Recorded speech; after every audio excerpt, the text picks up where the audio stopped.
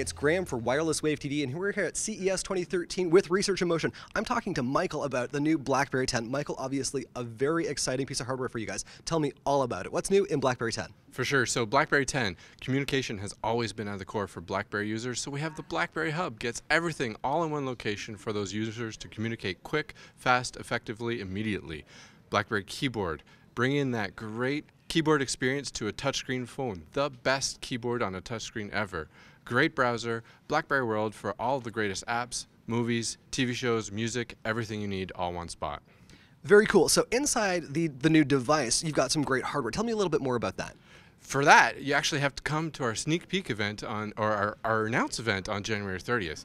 January 30th, we're really excited, going to be launching BlackBerry 10 and the hardware that comes with it as well. Looking forward to that event for sure. So we've got to stay tuned on hardware, but you can tell me a little bit more about software. I had a chance to play with one of the dev units, and we were looking at some of the peek functionality. Can you tell me how that works? For sure. So gestures are a key experience to BlackBerry 10. So the ability to swipe up or swiping over to the right to peek into the BlackBerry Hub to see what's come in those BlackBerry users are going to love it. They'll be just as addicted to the gestures as they were the LED come years ago.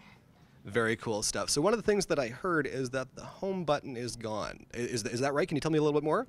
Exactly. BlackBerry Flow allows users to seamlessly go from application to application. No more in and out of applications. Easier ways to get things done. Very cool stuff. So BlackBerry 10 sounds like one of the most exciting things that we've seen here at CES 2013. I'm really excited about it. Thanks so much for talking to us today. Thank you. Looking forward to January 30th. January 30th.